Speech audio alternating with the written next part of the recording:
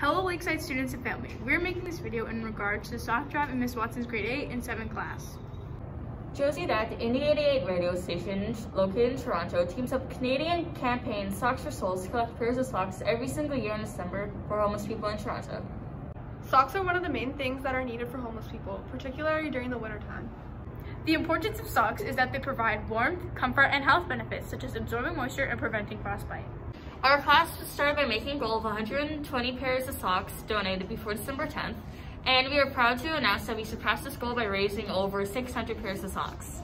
Our classes worked hard by making informational posters, letters for the homeless, and charts to promote and encourage people to donate as well as make efforts to support our class with the sock drive. We would like to thank anyone who helped bring joy and comfort to those experiencing homelessness this winter by donating socks or giving money donations. So proud of our intermediate leaders for reaching out and helping others outside of their community, for setting goal, reaching that goal and setting new goals. I look forward to their continued leadership and outreach in the new year.